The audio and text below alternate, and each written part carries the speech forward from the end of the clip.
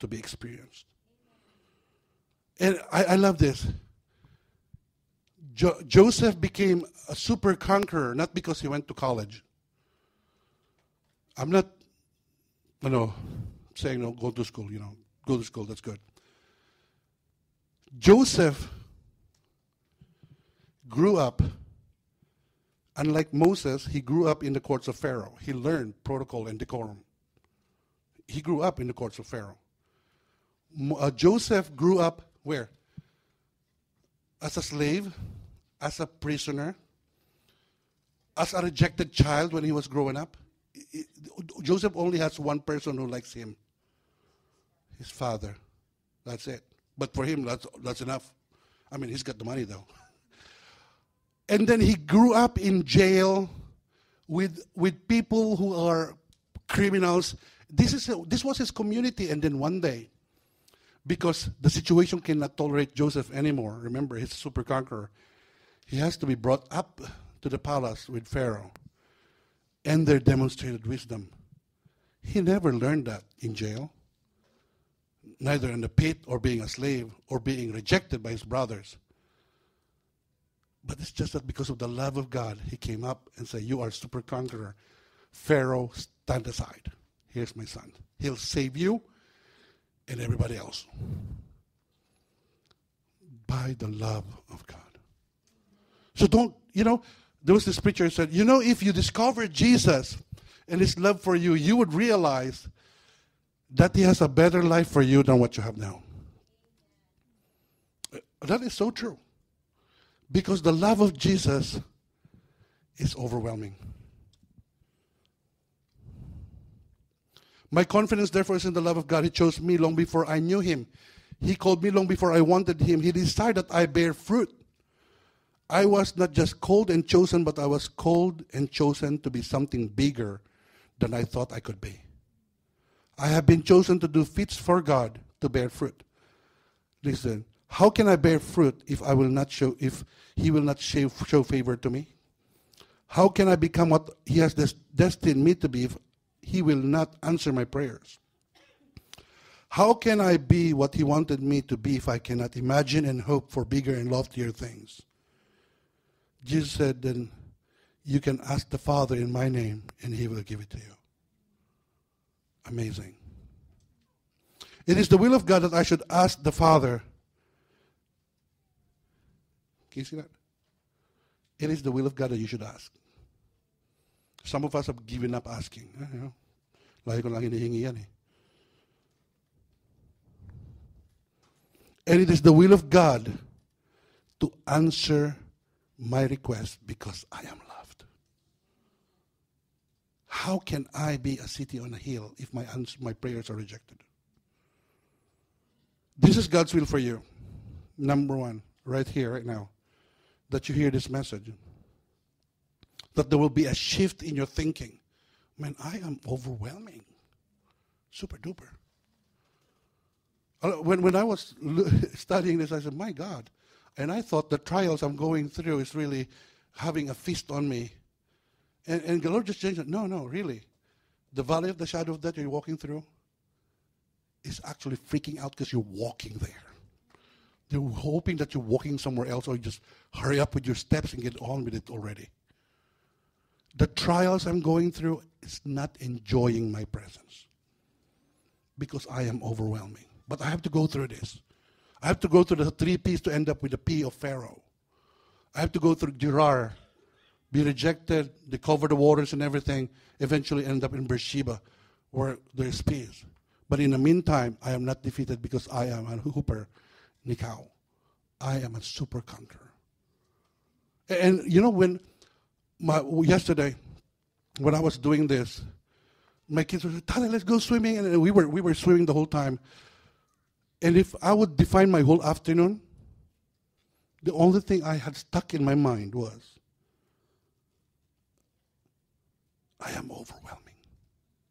And that's the only thing. I, I slept and woke up with that word, I am overwhelming and I can do things. And, and that picked me up from, from a low. And I realized, you know, I, I, I, I was done swimming. I sat down on the steps of the pool. I got out of the pool. I sat down on the on the patio set, still thinking about it. Eli was saying, "Tatay, come on, let's do it." Like, I, I felt like somewhere else. I went over and did something. I have to sit down always because it was an overwhelming thought that I am overwhelming. And so are you. That my problem cannot overwhelm me because I have overwhelmed the problem. And my, oh, my problem cannot tolerate me. It's waiting for the time that, can he get out now? Is it done yet already? Come on. You know, I pity the demon that will be sent against you and I. You know, when, when just, just like the police, you know, I always picture it like this. In the morning, when the sergeant demon will say, All right, guys, this is our today uh, assignments.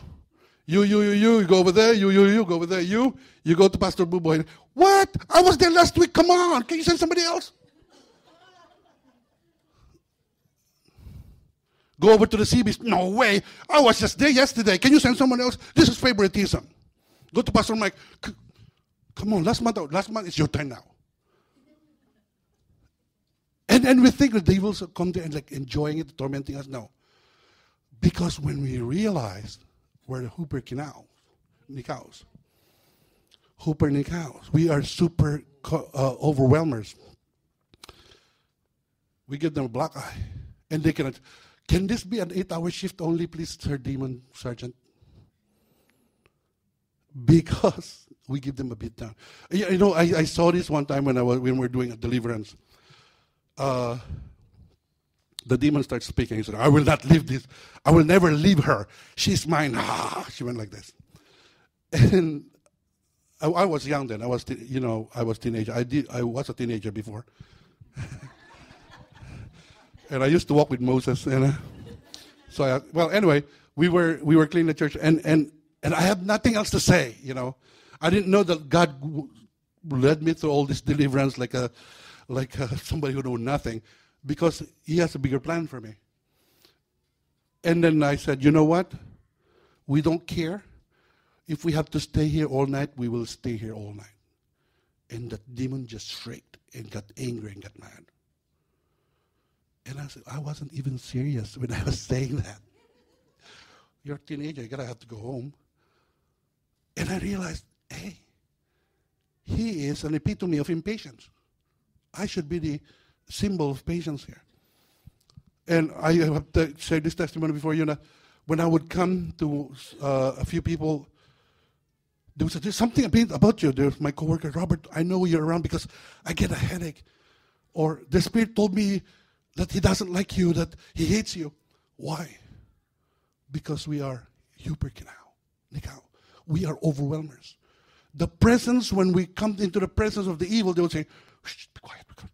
Don't say anything, he might cast you out. Seriously. You know, but then they cannot tolerate any longer. They would start, I have a coworker would start just coughing and coughing and coughing and coughing. But if she steps out, cough stops.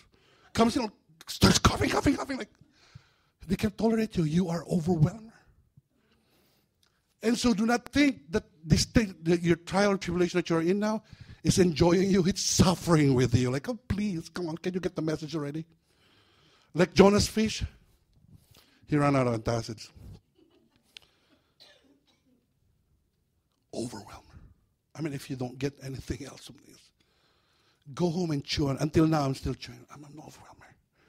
I'm an overcomer. I'm overwhelming. I am overwhelming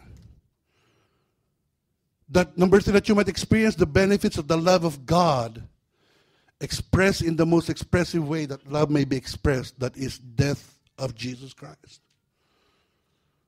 All heaven was emptied to demonstrate the love of God. And the demonstration of the love of God was that he might die. And yet in his death, we become heirs. If He called you to hear and made you understand, then there is no other recourse but to come to Him. Now, let me speak to you individually. If He called you to hear and you heard it and you understood, and you sit there and say, that is so true.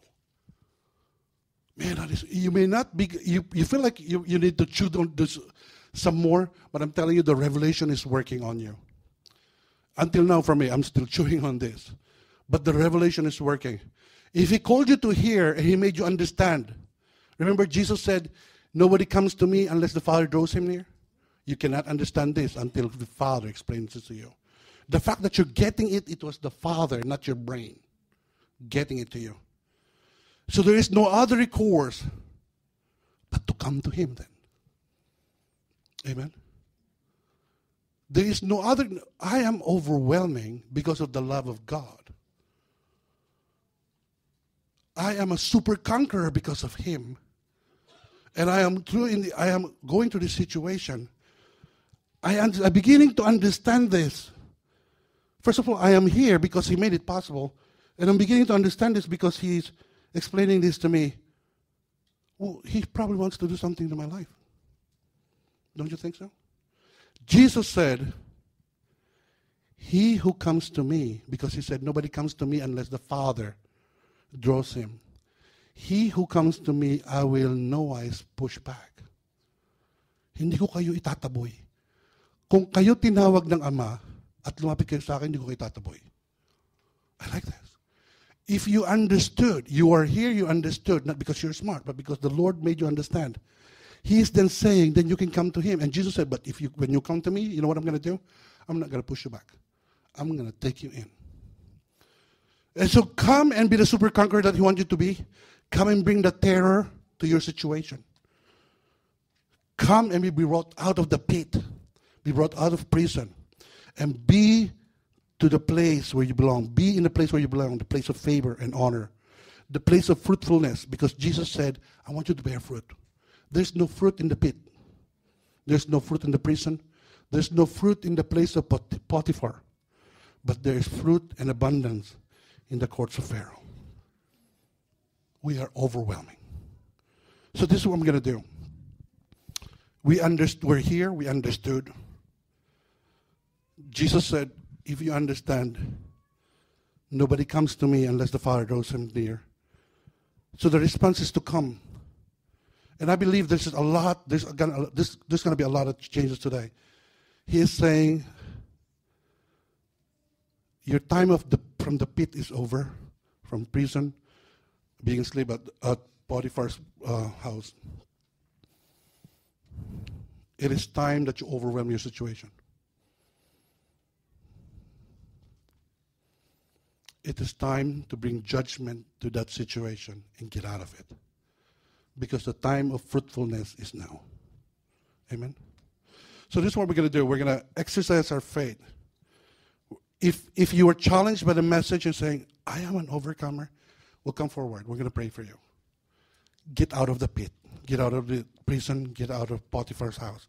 We're going to pray for you. And, and I believe there's going to be a lot of changes today because we are overcomers. Come Come with your head up high. Not, oh my God, help me, Lord, I'm coming over. No, no. Say, Lord, I'm stepping forward because I am a hyper kinao, nikao. I am an overcomer, a super, what do you call it? A super, a super conqueror. I'm not just conqueror. I am a super conqueror. And I'm stepping forward to you, Jesus, assuming my position, saying, yes, I'm out of the pit. I'm out of the prison. I'm out of Potiphar's house, and I'm into the place of favor where I could bear fruit. Jesus said, I did, you did not choose me, I chose you. Chose you to bear fruit. If you notice in your place you're not bearing fruit, get out of it. So let's do this. Let's pray. Thank you, Lord. Let's all stand up. Thank you, Jesus. Father, we thank you. Lord, we thank you for a revelation of super conqueror through your love. God, we are a bunch of people scared until we heard that Jesus' love, which is from God, demonstrated in Christ by his dying for us, made us heir of the heavenlies and has made me a super conqueror. God is saying, listen, you are overwhelming. You are overwhelming. The enemy sees you, he shakes. Paul said, I am convinced no demon can stand your way. He said that. Not even angels, never even the good ones. Neither height nor depth, No trials or tribulations can withhold you, can push you back.